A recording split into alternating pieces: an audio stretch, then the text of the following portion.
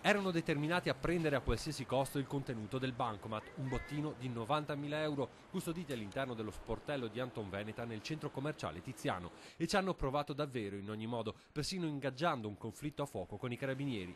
Entrano in azione poco prima delle tre di notte i banditi, probabilmente un terzetto, con la polvere pirica fanno saltare lo sportello. I carabinieri in un lampo arrivano, intimano ai criminali di fermarsi ma questi non hanno la minima intenzione di arrendersi. I banditi hanno dimostrato che pur di assicurarsi impunità erano disposti anche a fare azioni di fuoco nei confronti dei militari. Inizia l'escalation di tensione. Uno dei tre ladri estrae un'arma, probabilmente un revolver.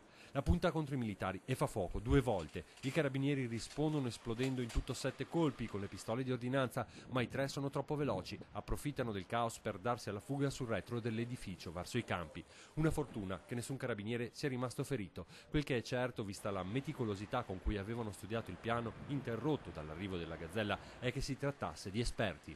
Sicuramente erano dei professionisti, avevano studiato bene la, la scena del crimine, avevano idea di come organizzare il colpo e si erano, avevano preso tutte le contromisure necessarie. Ora spazio alle indagini. I banditi avevano il volto travisato con un passamontagna, la loro azione è stata comunque immortalata dalle telecamere di videosorveglianza. Il loro modus operandi lascia supporre che fossero soggetti molto ben informati sul luogo dove avrebbero colpito. Siamo comunque dell'idea che non sia una banda di stranieri, ma gente comunque locale qui del, della zona nostra, insomma.